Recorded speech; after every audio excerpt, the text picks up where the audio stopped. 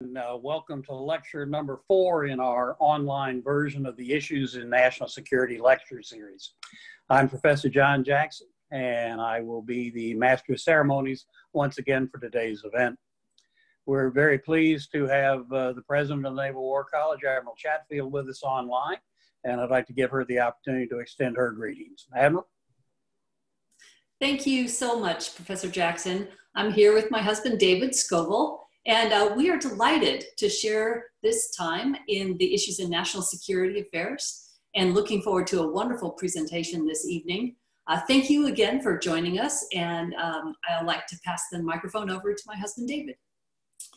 Great. Um, thank you all for joining us again. This is uh, becoming sort of the new Pringle Hall, and uh, we welcome it. And, it. and, and, it's just wonderful how many people are tuning in with us each Tuesday. So uh, look forward to this one uh, on North Korea. And I just wanted to remind uh, most of the spouses you may want to stay for the benefits partner section at the end because uh, we have a couple people from MWR here to give us some updates for spouses and families. And uh, one will be uh, Dean uh, Weidman, the um, director of MWR, and he'll give us an update on uh, what to expect over the coming weeks. And then additionally, we have uh, Pamela Martin, who is our school liaison officer and uh, her job will be to uh, bring you a brief on what's going on with uh, what the kids will be doing uh, in the upcoming uh, months. So uh, feel free to please ask questions and bring out your best and make sure that you get your questions answered because it's a wonderful opportunity to speak with those two people. We want to thank them both for joining us today. Great, Admiral and David, thank you very much. As we've done over the past several weeks, while we hear from our guest speaker, you're invited to send in questions using the Zoom chat function. We'll gather these questions and relay them to the speaker during the question and answer period. Let's turn now to today's topic, the North Korea problem, solve or manage. North Korea is often in the news, and I'm sure you all remember the incredible focus on that country that happened several weeks ago when it appeared that the Korean leader might be ill. Well, we're going to hear about that and more today from Professor Terry Roehrig, who is a faculty member in the National Security Affairs Department and is director of the college's Asia Pacific Studies Group. He has been a research fellow at the Kennedy School at Harvard University, both in the International Security Program and with the project on managing the atom. He is the past president of the Association of Korean Political Studies. He's published numerous books, articles, and book chapters on Korea and East Asia security issues. Dr. Roehrig, stand by to be zoomed. It's yours, sir. Thank you very much for that kind introduction. Let me share the screen first.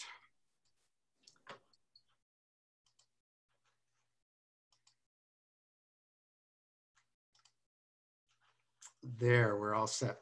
Well, as, as John suggested, I thought uh, two or three weeks ago we might be starting this session with a scavenger hunt to see if we could find Kim Jong Un, but that has been taken care of, at least for the time being.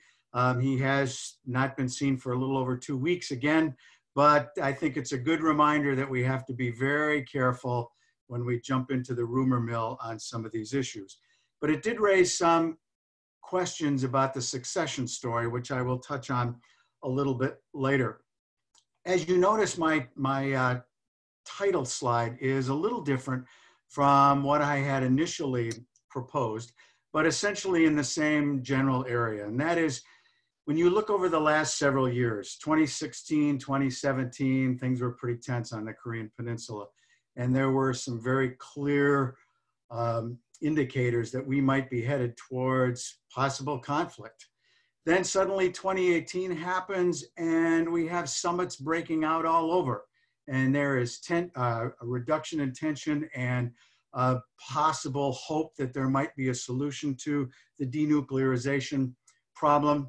And yet now clearly for the last year or so, the process has stalled and may remain stalled for uh, the next while here. And so where are we? What, what comes next?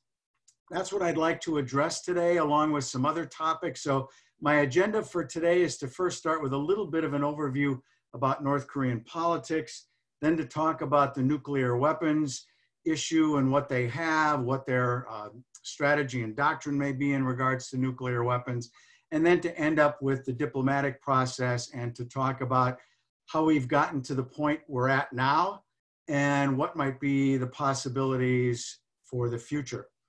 So let me begin with a brief uh, look at the current politics in regards to North Korea. Uh, it's hard to believe that Kim Jong un has actually been in power now for a little over eight years. Um, how time flies. As he started his reign in 2011, as you see on the slide, when his father, Kim Jong il, passed away, leadership likely looked like that photo that you see on the left of the funeral procession of Kim Jong il. You see Kim leading on the left, his uncle Jang Sung Tek. Of course, he has another story that I'll finish up in just a minute, and some of the other civilian leaders on, on the left-hand side of the hearse. On the right-hand side, the key military leaders. Um, over this, this eight years, Kim Jong-un has solidified his position by taking on all the chief positions, by purging a lot of individuals, and consolidating his power in, in that I would argue he is very firmly in control.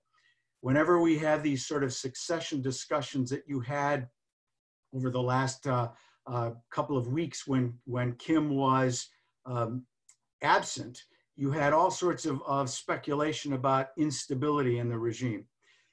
I think that is, is not necessarily warranted. I think he seems to be clearly in power and the regime seems to be stable. Part of how he has done that is through purging. Um, the military guys on the right-hand side that you see are all removed from their position. Jang Sung Tek is another interesting position. He is the one immediately to Kim Jong un's rear there, as he was removed in December of 2013, purged, and within a week was executed. And what is significant about that is he certainly was a high profile individual in the North Korean regime, but he also was Kim Jong un's uncle, not by blood, but by marriage, as Jang was married to Kim Jong il's sister. But nonetheless, it sent a very clear message that even if you are a relative of Kim Jong un, if you become too powerful economically, politically, that that is not going to shield you from removal and execution as a threat to Kim Jong un's power. Then in February of 2017, Kim Jong un's half brother was killed in Kuala Lumpur airport, as there you see a picture on the left of him slumped over after um, two women were, we think, duped by North Korean agents to put VX agent in a rag over his face while he was in the airport. Uh, barely made it out of the airport before he died. Um, picture of him in much better condition there to the right. But again, Kim Jong Nam was believed to be potentially a threat to Kim Jong un as a potential person if Kim Jong un was ever to be ousted. And so Kim Jong nam uh, removed from, from any sort of threat. So again, through all the different purges and other aspects of this, and purges are not unusual in communist uh, successions, dictatorship successions. Kim Jong un has done a lot to remove the people who were in positions of authority that owed those positions to his father, replace them with people, and we see a younger generation of people as well who owe their positions to him and has fairly uh, successfully cemented his position. So again, I think he is clearly um, in power uh, and, and has consolidated that power. But again, with his disappearance, there were some interesting discussions again about what happens if Kim Jong un passes away and there is a need to transfer power? And we had some interesting discussions here about what that succession might look like. And while it may not again be something imminent, this certainly is going to happen eventually. And how this plays out is interesting. And so some of the people that were raised as a possibility, one is Kim Yo Jong, who is Kim Jong un's sister, who is believed to be a very trusted confidant of Kim Jong un. But her key drawback is gender.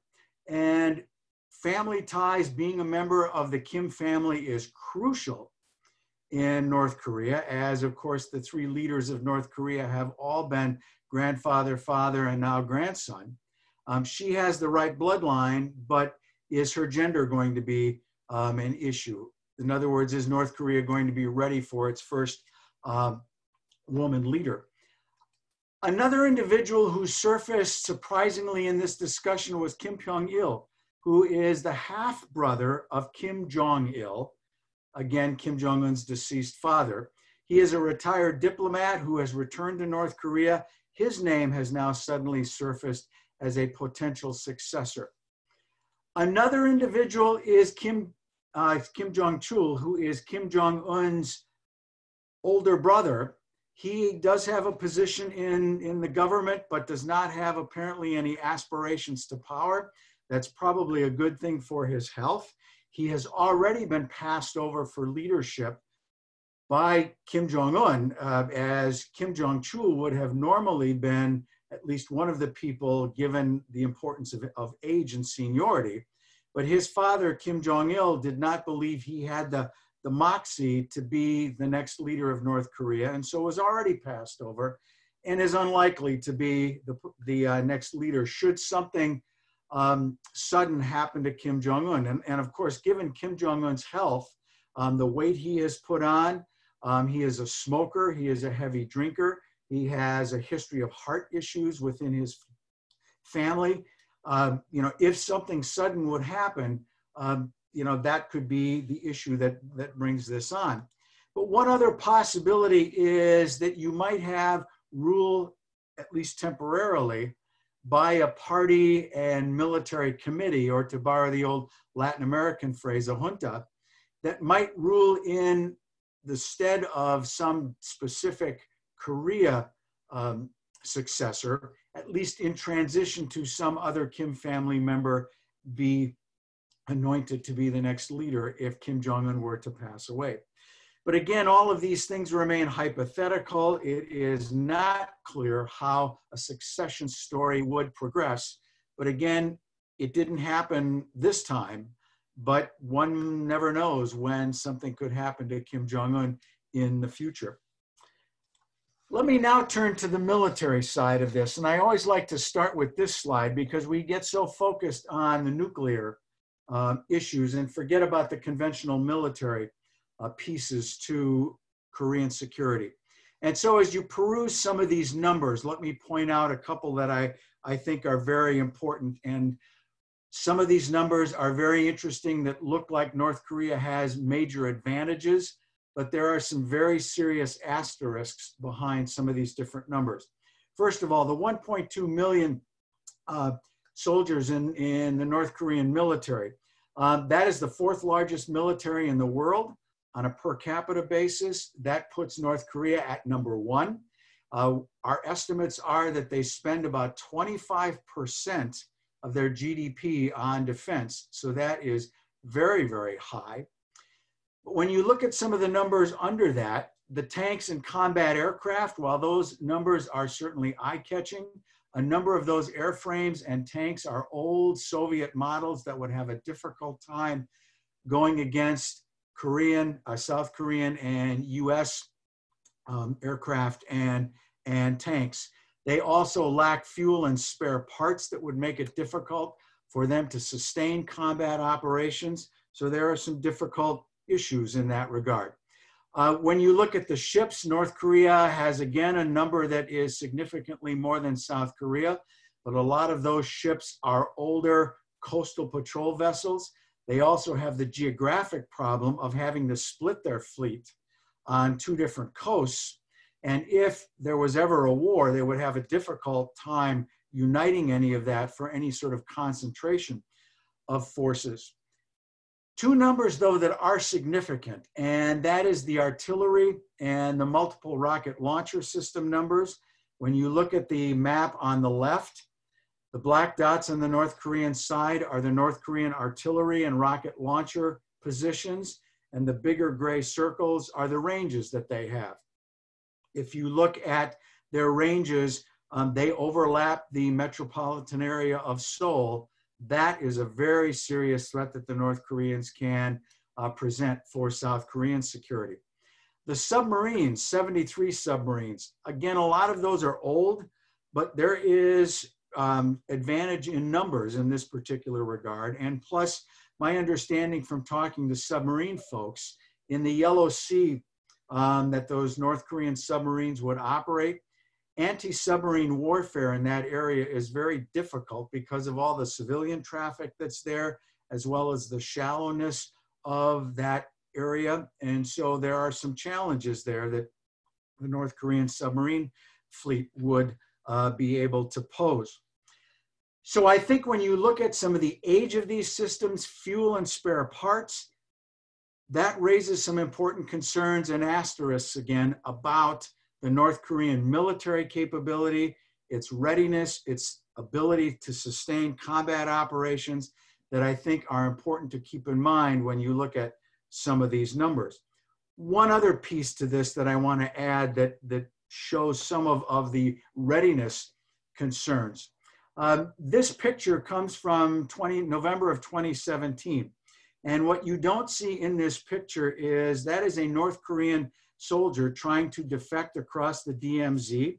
There are a lot of bullets flying at that guy. Um, he makes it across but when he is examined by South Korean doctors, in addition to removing a couple of bullets, they also find that he had seven to eight tapeworms in him.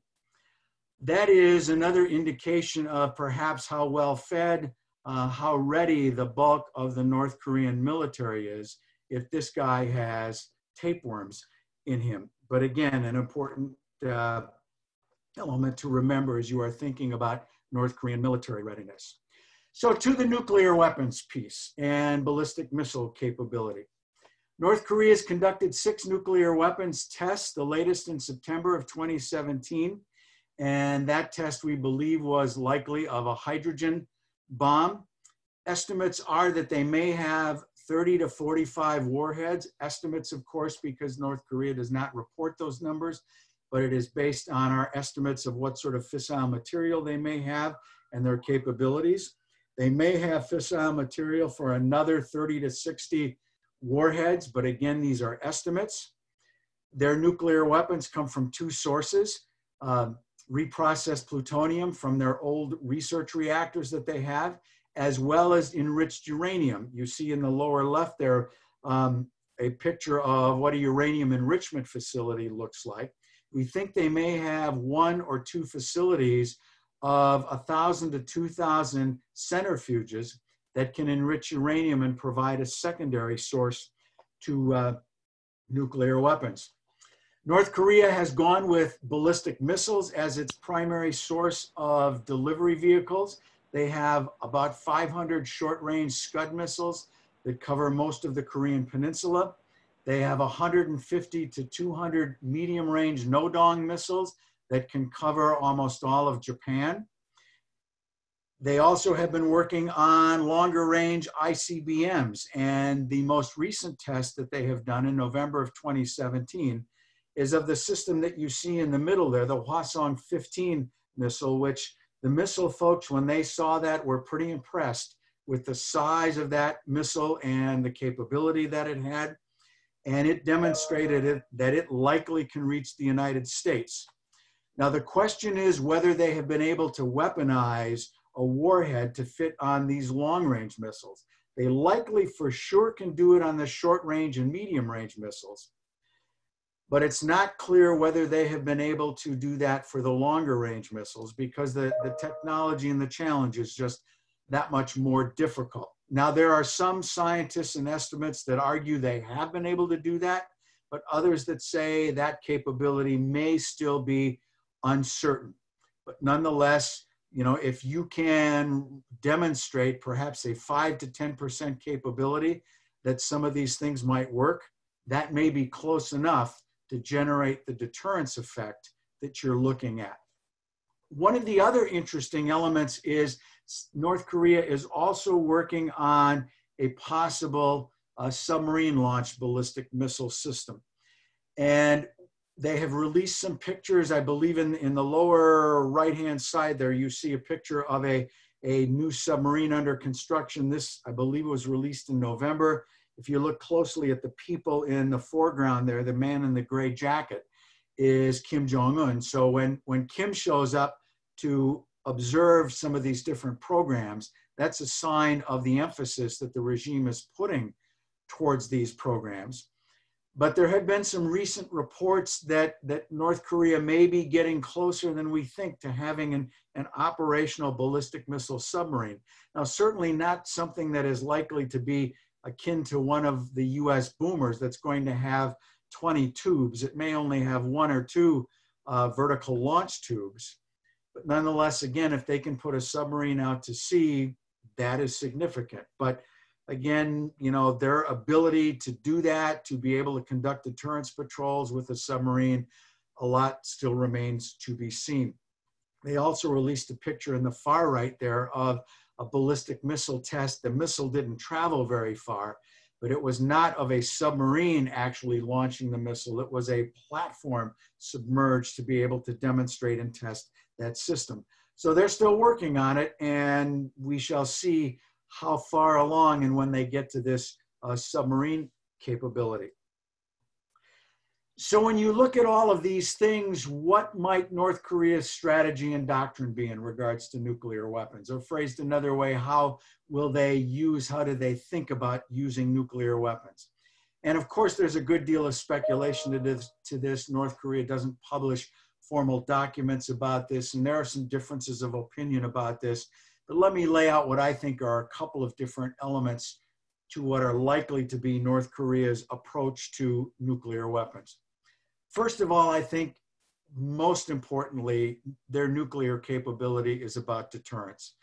It has become a fundamental element of their regime survival strategy that they believe they need nuclear weapons to ensure that they are not going to be the victim of a regime change operation and North Korean negotiators often point to Libya, um, to Iraq, and suggest that if those countries had nuclear weapons, they would still be around. And so deterrence, the ultimate, I mean, nuclear weapons, the ultimate deterrent to protect the Kim family regime. What about North Korea using nuclear weapons in any sort of offensive first strike? I think that is highly unlikely because I think North Korea understands if they are going to do that, the gloves come off, the international community will be largely united to end this security problem once and for all. And I think North Korea knows that, that this would be the end of the North Korean regime. However, if the regime ever felt like its back was against the wall and had very other, very few other options to secure the regime, I think then all options are on the table and they would not hesitate to use a nuclear weapon in any sort of context if they felt it was absolutely necessary to secure the survival of the Kim family regime. Let me also touch upon two other aspects of what some have argued or raised as a possibility for North Korea having nuclear weapons. And the first goes back to a concept that was first generated during the Cold War between the United States and the Soviet Union. And that is an issue or a term known as the stability instability paradox. And as a paradox, it was this notion that the United States and the Soviet Union both had so many nuclear weapons they could bomb each other into oblivion. Neither side had any interest and um, such in, in escalating a conflict to a strategic nuclear level because of the results. And so what that did was create this paradox that since that was the case, then it freed up both the US and the Russians to conduct operations and shenanigans, if you will, at lower levels with some degree of confidence that they would stay at that level because neither side wanted to escalate to nuclear weapons. In a North Korean context, does that mean that North Korea sees nuclear weapons as sort of the ultimate backstop, allowing it to conduct increased lower level provocations? For those of you who study Korean politics and security, think in 2010 when the Cheonan was sunk or when the islands were shelled, that nuclear weapons would allow the North Koreans to feel they could take on much more risk in this direction and conduct more of these operations, knowing that no one would want to escalate to nuclear weapons. I think that certainly is a possibility, but I'm not sure that North Korea is going to necessarily go in that direction, nor has it necessarily gone in that direction since 2010 and since it has acquired a nuclear capability, but it certainly bears watching. One other related point to this that I think is crucial, and that is an argument that some make about North Korea may use its nuclear weapon to coerce reunification. That they will somehow lay down the gauntlet to the South and, and threaten nuclear use unless you agree to um, reunify with the North in a single united Korea under our leadership. I think that is highly unlikely to ever happen. First of all, um, you know, what are the scenarios that North Korea could successfully pull off to make that happen and not have that go badly? And South Korea is not going to roll over and let that happen. And secondly, even if North Korea could somehow get that to occur, how does it go about integrating a country like South Korea that is twice its size, economically so much more advanced, and an economy much larger than it, and a democracy, and think they're going to be able to maintain control of that and not have that go badly? I think the North Koreans understand that. I think nuclear weapons is, is about maintaining the North Korean regime and maintaining coexistence of the two Korean regimes. Um, but again, there is some disagreement about that. Some would argue that, that that is not necessarily the way to look at that, but I think um, that is the logic conclusion of logical conclusion of how this, this plays out. So let me now turn to the nuclear weapons situation and how have we gotten to the situation we are now? What's the likelihood of any sort of progress in regards to denuclearization. And let me back up to 2017 because we have to set the table a bit here for this. So in some respects, we start in January of 2017 when Kim Jong-un announces in his annual New Year's address that North Korea is close to perfecting its uh, ballistic missile capability that can reach the United States and of course by implication with a nuclear weapon. President Trump is already elected by this time, and he tweets out this response that it ain't going to happen, that the United States will not allow North Korea to develop a nuclear capability that can reach the United States. Well, Kim's response was, okay, I will test you on that. And you can see this, um, this uh, graph here that shows the amount of testing, first of all, overall that happened during Kim Jong un's time. But in 2017, 2016, the extensive ballistic missile testing that happened in regards to building its program. You may recall in August, as this tension level is building, President Trump, I believe this was at a luncheon at Mar a Lago, uh, gave the famous fire and fury quote that North Korea better watch itself and better back off. And of course, tensions continue to rise. Kim Jong un matches that rhetoric and such with action. In, on September, or in September, excuse me, he conducts that sixth nuclear test that I mentioned earlier, and likely a hydrogen bomb test that was significantly larger than any of the nuclear tests the United States had conducted prior to that. And then in November of 2017, he conducted again, remember that, that test of the long range Hwasong 15 test. And so we were set for a pretty tense 2018 as these things were starting to escalate. And if you recall back in, in these, these months of 2017, there was some no kidding discussions about the possibility of war on the Korean Peninsula. enter 2018. And I'm sorry, let me back up. I should set the scene a little bit before I jump to all the summits. Enter 2018. Kim Jong un in the 2018 New Year's address offers an olive branch to South Korea in particular. And South Korea has the Olympics coming up. He says, We are interested in possibly exploring dialogue with the South. We have completed our testing. We now have cap- the capability we are looking for. We'd like to participate in the Olympics and let's possibly explore dialogue. And from there, we go to what you see here is a plethora of summits in 2018. Summits breaking out all over in 2018 and 2019. I won't review all of these, but the first one that got on the table, on the schedule, if you will, was in the middle, the April 2018 meeting between Moon Jae-in and Kim Jong-un. But once that got scheduled, Kim immediately went to China and had two summits with Xi Jinping to patch up some pretty rough North Korea China relations at the time. And then, of course, in June of 2018, we had the summit meeting in Singapore, followed by another one in Hanoi. And then you see the picture on the left where Trump, Kim, and Moon met at the DMZ in June of 2019 for an impromptu meeting for it was a very short amount of time where President Trump happened to be in South Korea at the time and, and suggested, how about a, a, a, a meeting with Kim as long as I'm in the neighborhood? And so you see the three of them. The fun part about this for me, for many years when I would give presentations about all this, I had to Photoshop these pictures.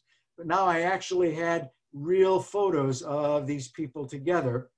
And we had a number of different meetings in this regard. But these summit meetings didn't accomplish a lot, at least in regards to denuclearization. They did accomplish a lot in lowering tension levels. Moon and Kim have had a number of different efforts to try to have some, some joint economic projects. They have reduced tensions along the DMZ and conducted a, several different uh, gestures in that regard. But as far as denuclearization, not a lot has necessarily happened. We had one other meeting of note last October 2019. There was a working group meeting, not a summit meeting between the leaders in Stockholm, Sweden, to try to work on the details of these meetings. Because one of the interesting parts of this is typically when you have, from the United States side, when you look at the left hand meetings there, when you have a summit meeting like this, you have lower level working groups of the technocrats who know the nuclear issues, they work out the details, they have a, a rough agreement in place, and you bring the major leaders to the table to find the final document. That was apparently not working very well. And so President Trump decided let's sort of flip that uh, routine and let's have a summit meeting to meet first, and hopefully we can work out the details. That hasn't worked out well either, and so we have not had, some would argue, any progress at all towards denuclearization, and the process has stalled. And so this stalled dialogue where we are at currently, right after the February meeting in Hanoi, Kim laid out a marker last April that said the United States has till the end of the year to change its attitude, to be more flexible in its approach to North Korea, reduce its hostile, hostile policy. In particular, the flexible piece for North Korea has been a reduction of the economic sanctions that have been in place. Kim really wants those lifted as we got closer to the end of the year, we had a number of North Korean officials who started to weigh in and say that the United States has not shown any progress, uh, that they have not been flexible. Talks are dead unless the United States changes its opinion. North Korea is losing its patience. And then, of course, there was the, the famous eye catching phrase that one North Korean official said it is up to the United States to determine what Christmas gift it's going to get this year. If you don't want to get coal in your stocking, they didn't say that part, but uh, the United States needs to reduce its hostile policy. And so it was up to the United States to determine what sort of Christmas gift it would get. And of course, it didn't take long for many to come up with all sorts of interesting uh, portrayals of that online. I remember the photo of Kim on a horse earlier. Uh, someone did a nice Photoshop here of, of course, the Christmas gift was believed to likely be a missile test, particularly a long range missile test that would get the United States attention.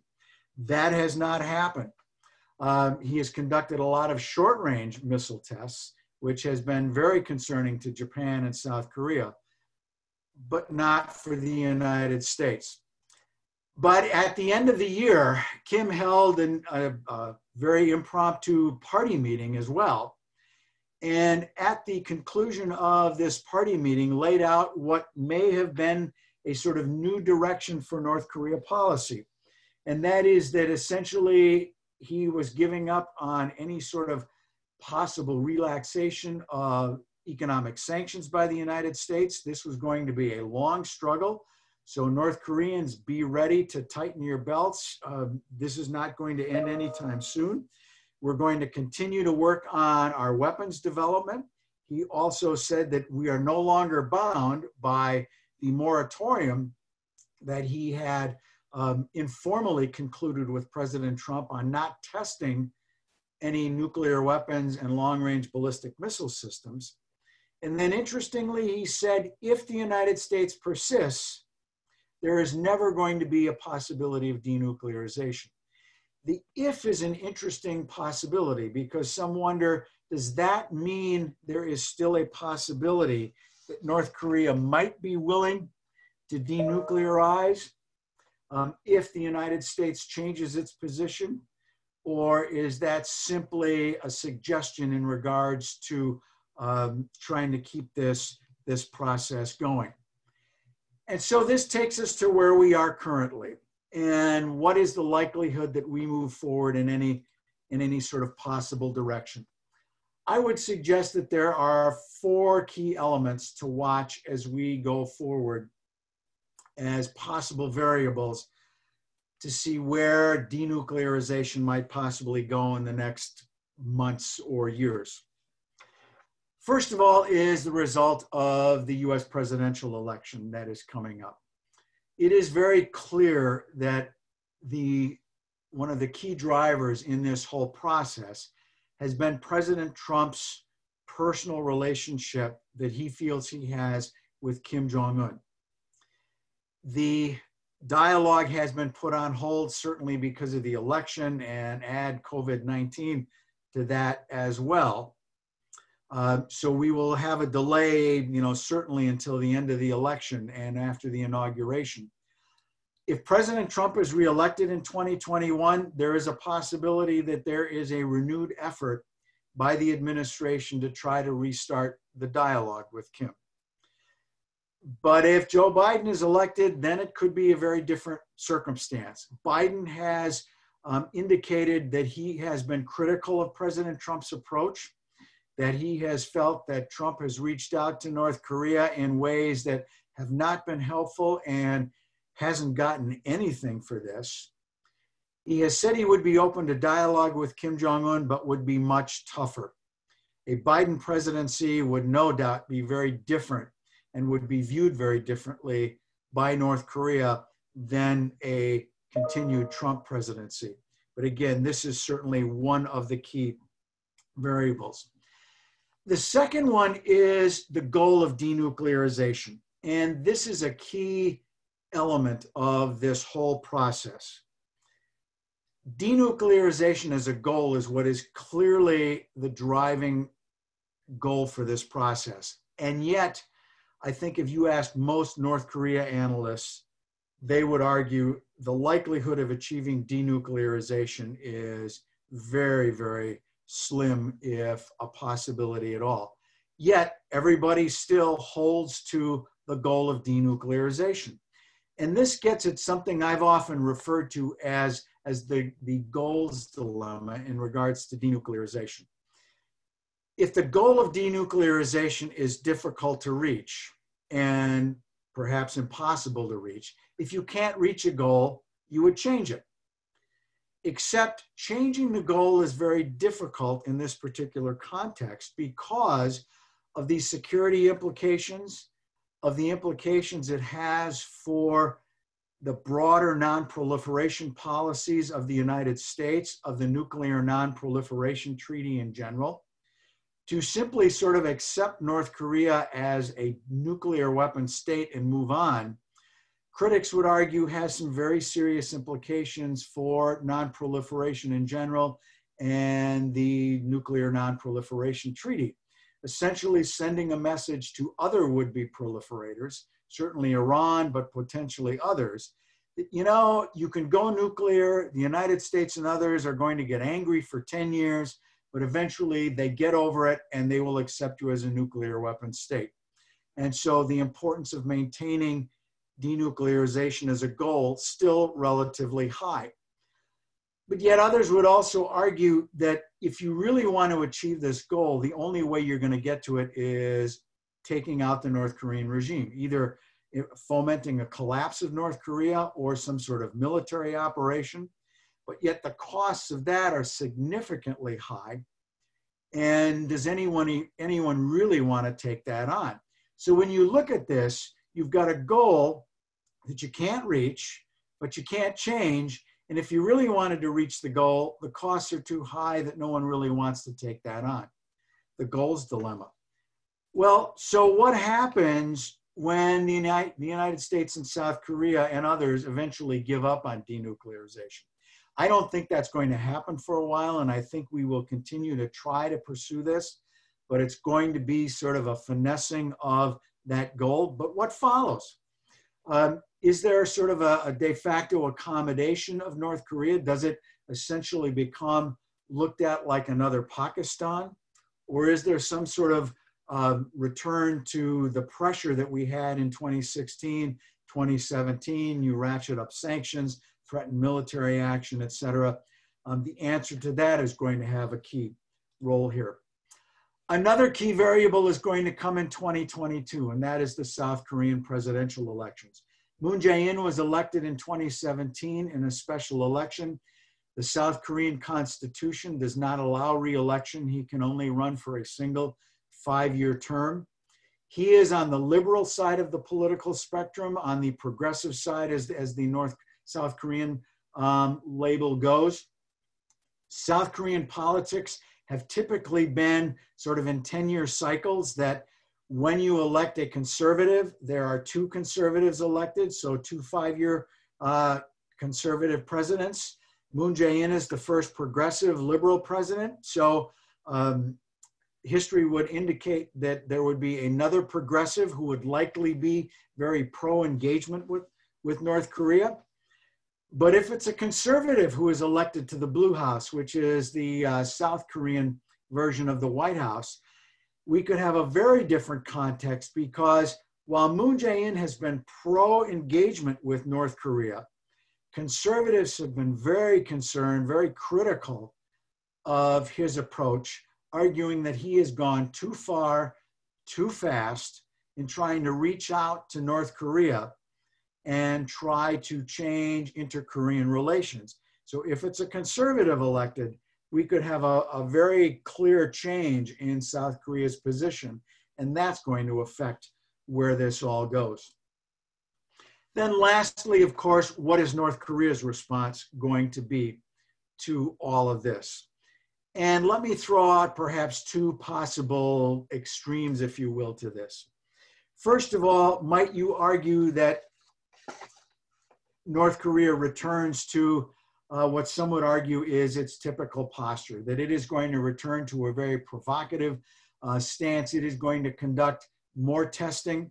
It is going to try to get attention back to its concerns and its issues, try to coerce in particular against sanctions relief by provocative behavior. And so we will see that sort of, of return perhaps after the 2020 election to see if Trump is reelected or not and if diplomacy has a chance. Or perhaps another interesting possibility is is it that the possibility North Korea may actually seek to moderate its position based on this argument? That could you argue that Kim Jong un may actually be trying to sort of change the narrative from this provocative North Korea to one that is more of a notion that North Korea can be a responsible nuclear weapon state that can be accepted um, in the international community that way. That if it decides to test again, like it did in 2016, 2017, it is simply going to recreate all of the ire and all of the pressure on North Korea again. And is that really in its interest to do, particularly because Kim, we believe, wants to get the sanctions reduced, not increased, because he wants to focus on economic growth. It's not clear, but I think these are two very interesting possibilities to think about to see how North Korea responds. So when you put these four together, I think these are perhaps four of the key variables to watch going forward in regards to uh, how this may play out in the uh, next number of months. Let me conclude with just a couple of, of, of final comments and then open it up to any questions that you might have. To put my cards on the table, um, in the end, I am very skeptical that we ever get to denuclearization. I think there are a lot of reasons North Korea will want to keep its nuclear weapons for security concerns. Um, but I certainly think and agree that it's worth the effort to try to see what kinds of things we can get um, in regards to perhaps arms control, couched at least initially in the language of an interim step on the way to denuclearization, even though, again, I don't think we can get to that. If it can lower tension levels, I think that's a good thing. Returning to 2016, 2017 uh, context, I think is not helpful for security on the region. But I also would argue, while I am not happy by any stretch that North Korea has nuclear weapons, I don't necessarily think that it is the doomsday scenario that some might um, believe it is. It certainly is not a good thing for the security environment, but I think eventually um, we will have to learn to manage this problem. It is not one that's going to go away and one that can be solved in its entirety. And I think that North Korea as a security problem can continue to be managed. It will become part of a very different security architecture in East Asia. And North Korea has been deterred for the past 60 plus years from strategic level actions, and I think can continue to be deterred in that regard. And so, again, I think there is reason to hope that this problem can be managed in the years ahead, though I think it is going to be certainly a challenge um, as we move forward. So let me stop there and, and open it up to any questions. Um, and John, I'm going to unshare this slide so I can see folks. Uh, great, Terry. That was a, uh, a terrific uh, rundown of a very complex subject, and I appreciate that. Uh, we do have a couple of questions, uh, some easy, some not so easy. So uh, let's start with the easy one. we talked about Kim Jong Un being a young generation. How old is he, and does he in fact represent a, a younger generation in power? Yeah, he's in his mid 30s, uh, 35, 36, depending on which date you you choose. Um, you know, he has had exposure abroad. He he was educated in Switzerland. Um, he has some degree of of knowledge and exposure to the outside world. But with that said, I would still be very cautious about suddenly Kim Jong Un being this enlightened leader that is going to bring all sorts of change to North Korea. There was certainly a lot of speculation in that regard when he first came into power. Uh, but he certainly has had a lot of challenges simply cementing his position in North Korea and, and, and making sure he has consolidated that power. But you know, I wouldn't necessarily see that because of these these generational differences, it's going to necessarily mean a great deal of, of reform in, in North Korea. But I think one of the interesting variables that I, I didn't touch on due to time in, in the uh, presentation is one of the things that has been a secret to North Korea being able to have lasted as long as it has is its ability to control the flow of information into North Korea. That is changing though and has changed over the last 10 to 15 years as more and more information has leaked into North Korea through smuggled DVDs, thumb drives, other sorts of informational sources like that, that more and more North Koreans are seeing what the outside world looks like. I think it's interesting to imagine if you fast forward over the next 10 or 15 years, how that changes society in North Korea and may generate some degree of pressure and change within North Korea. But if you are expecting North Korea to suddenly change radically over the next um, 10 to 15 years, um, there are other dynamics that, that Kim is concerned about, that the elites are concerned about, to make sure that they maintain control of North Korea in the years ahead. Very good. A uh, couple of questions. Uh, what is the relationship between China, Russia, and North Korea? How would you evaluate that relationship? Yeah, and I, I think there are some differences there, certainly. Um, economically, politically, the North Korea China relationship is very important. Um, China is North Korea's economic lifeline in many different ways. And if China wanted to make the North Korean economy hurt more than it does, it certainly could. Now, I think what's important though is we often hear it portrayed in the media that, that China and North Korea are allies. They have a great deal of mistrust between them. In my presentation, I commented about how when Kim went to um, Xi Jinping in April of 2018 to repair relations, Kim had yet to visit Xi Jinping personally. And yet the South Korean leader had gone to China and had several meetings with Xi Jinping prior to that um, on several occasions. Never happened before. And so there was a great deal of unhappiness in that relationship. China was not happy with North Korea's testing, stirring the security pot in the region. Remember, all of those sanctions resolutions in the United Nations, China had to support those. And particularly in 2017, China was very angry that North Korea continued to test all those missiles and nuclear weapons tests because all of those things were not helpful for China's interests. It drove South Korea and Japan and the United States closer together in trilateral cooperation. It increased military exercises, discussions in South Korea about redeploying US tactical nuclear weapons to South Korea, South Korea going nuclear itself. Uh, all those things were not in China's interests. And yet North Korea seemed to be thumbing their nose at the North at China and doing it anyway. And so China's anger was was real, and they were clearly also enforcing the sanctions at this time as well. But I think there have there has always been a limit to how far China is willing to go to impose that kind of pressure because the last thing they want to do is impose so much pressure that they pushed the collapse of the North Korean regime.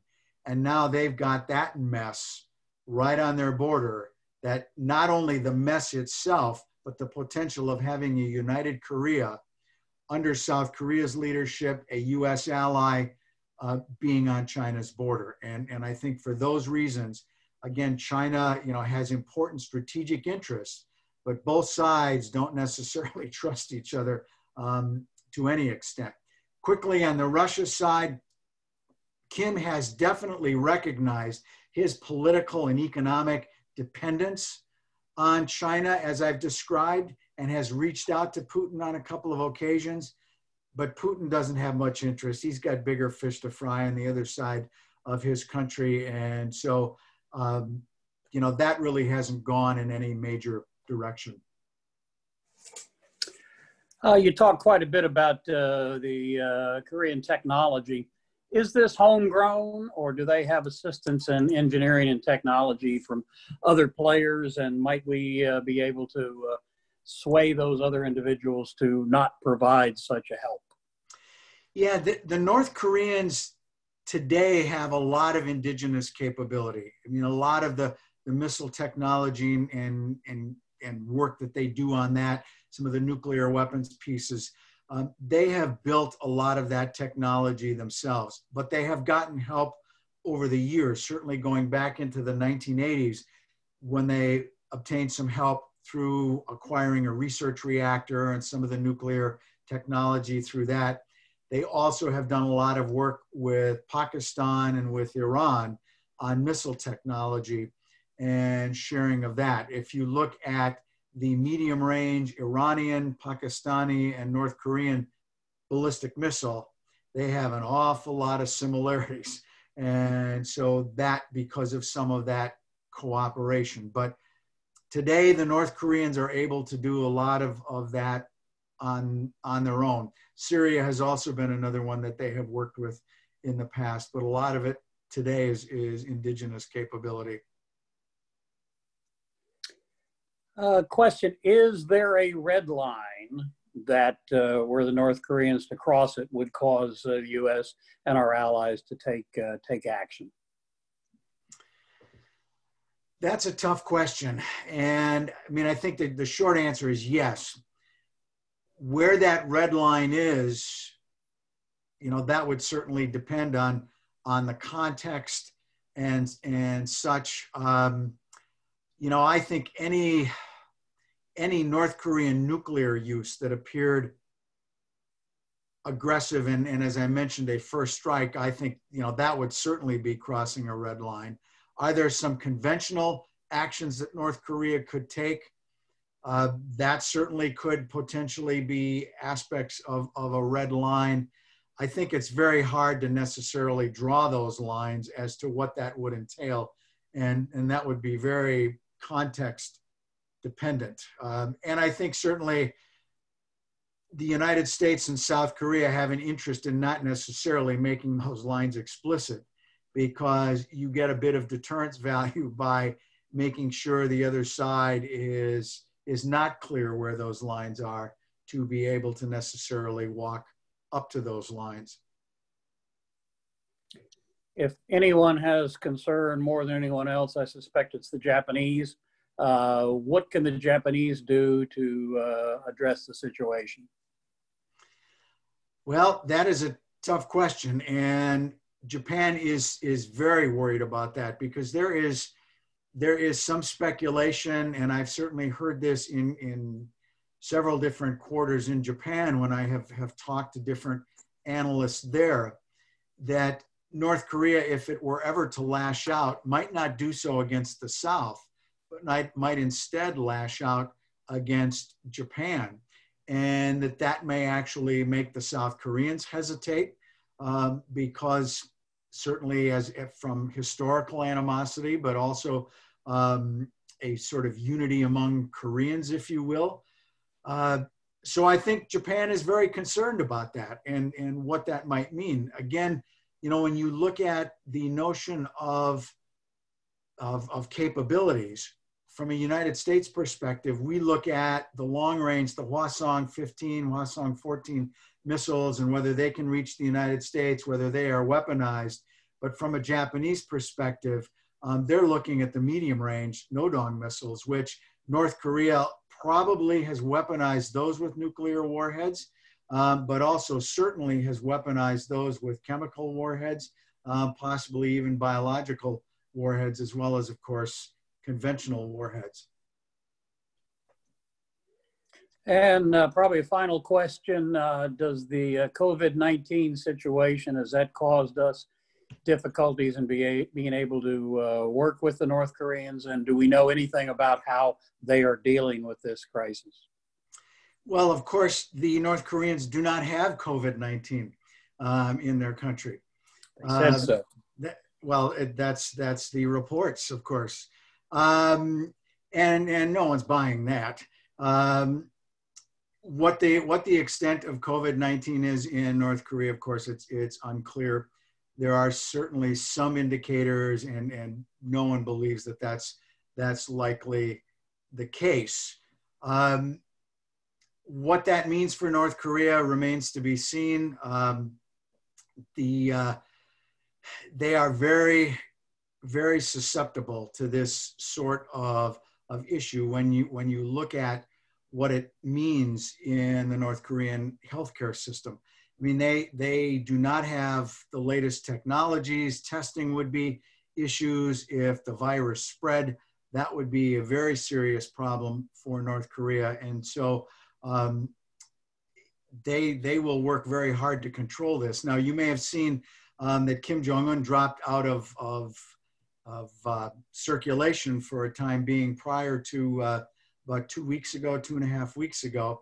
Uh, he was probably being very careful to make sure you see North Korean officials wearing masks.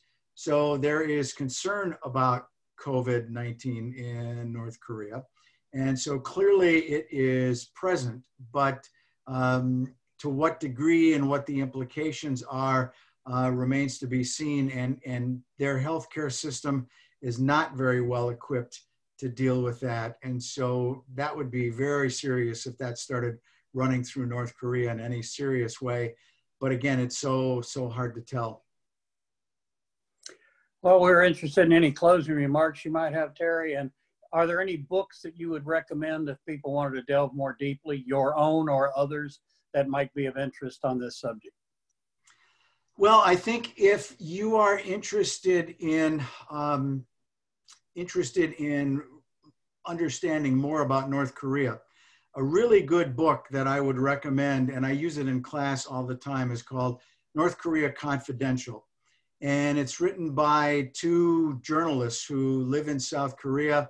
Uh, they are American journalists who study North Korea very closely and go through a number of different aspects of North Korean society that I think are very well done. And I think it, it you will find it very eye opening that it is a very different North Korea than is often portrayed um, in US media. Um, well, what other books about North Korea? Um, if you follow Andrei Lankov, he is a very interesting guy as well. L A N K O V. Um, he has written extensively about North Korea that is very interesting. Um, he is Russian who went to, did his PhD in North Korea and now lives in the South and teaches in South Korean universities and has a very direct uh, presentation about um, what he sees North Korea does.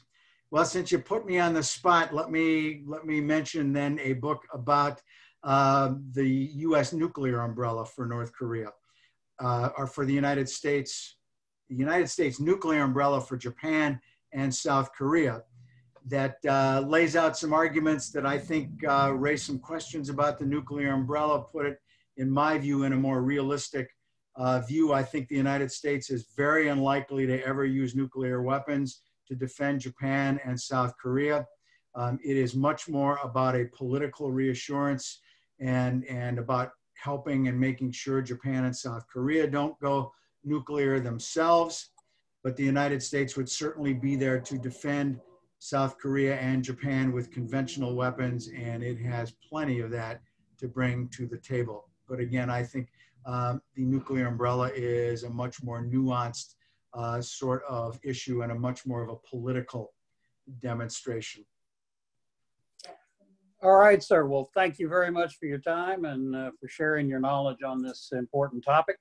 Uh, we'll comment that uh, the next lecture will be taking place next Tuesday, and Professor Walter Berbrick will be talking about the Arctic Ocean region and American power. So hope you can join us for that.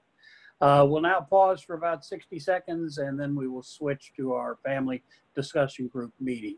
Thanks again, Terry. You are very welcome.